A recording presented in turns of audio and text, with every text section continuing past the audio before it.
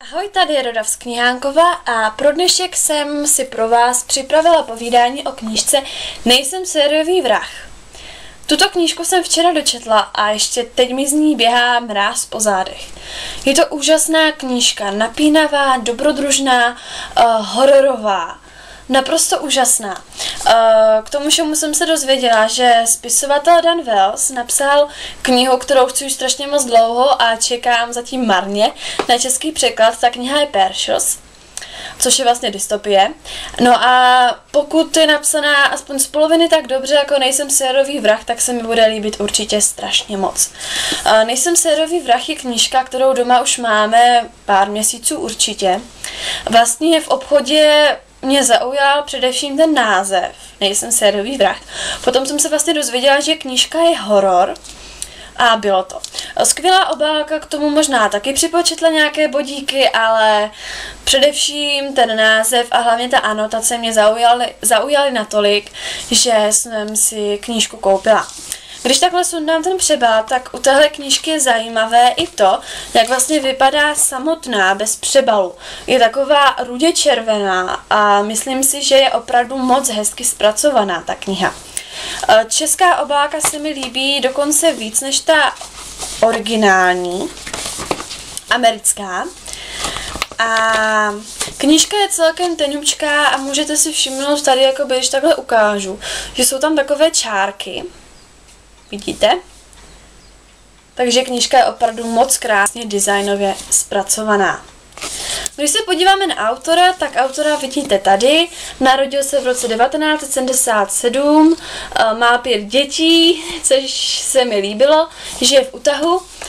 A vlastně uh, tato série má zatím tři díly, z čehož v češtině je tedy zatím ten jeden.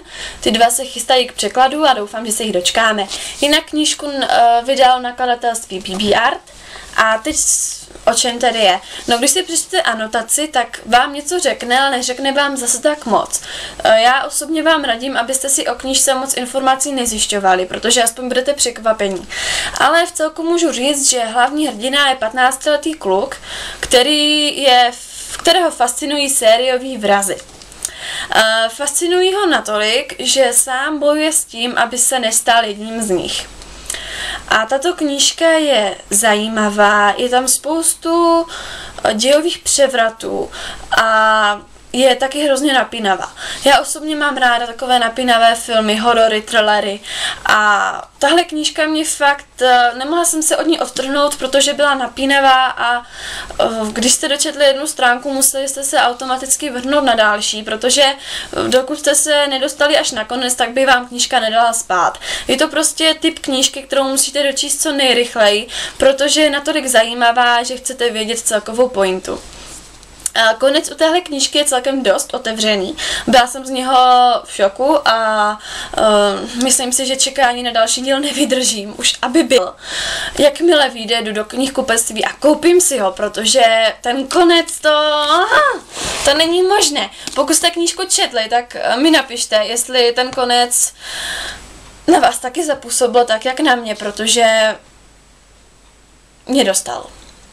Jinak tady na zadní obálce je napsané, že knižka se bude líbit těm, eh, kteří mají rádi morbidní a originální příběhy o Dextrovi. Já jsem to nečetla, neviděla seriál, ale určitě se potom podívám, protože mně se tento příběh líbil moc, takže Dexter by se mi možná taky líbil. No a opravdu uh, nebudu dál spoilerovat, nebo spíš takhle, ani nezačnu spoilerovat, protože to bych vás připravila o velký zážitek z této úžasné knížky, ale určitě čtení doporučuju, protože u této knížky se budete bát, budete napnutí, budete neuvěřitelně moc zvědaví a budete tak trošku možná uh, mimo z hlavního hrdiny, protože nebudete vědět, jestli mu fandit, a nebo spíš naopak, jestli se vám spíš hnusí. Protože uh, většinou je hlavní hrdina kladěs. Kladěs třeba s nějakými chybkami, ale kladěs. Ale tady je hlavní hrdina rozporuplná osobnost, která je vlastně ve skutečnosti úplně uchylná a psychopatická. A to se mi hrozně líbilo, já nevím proč, ale zaujalo mě to.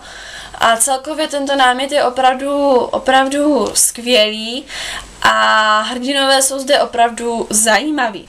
Takže tu, eh, čtení této knihy rozhodně doporučuju. Já jsem z knížky byla naprosto nadšená a těším se na další díly. Tak ahoj!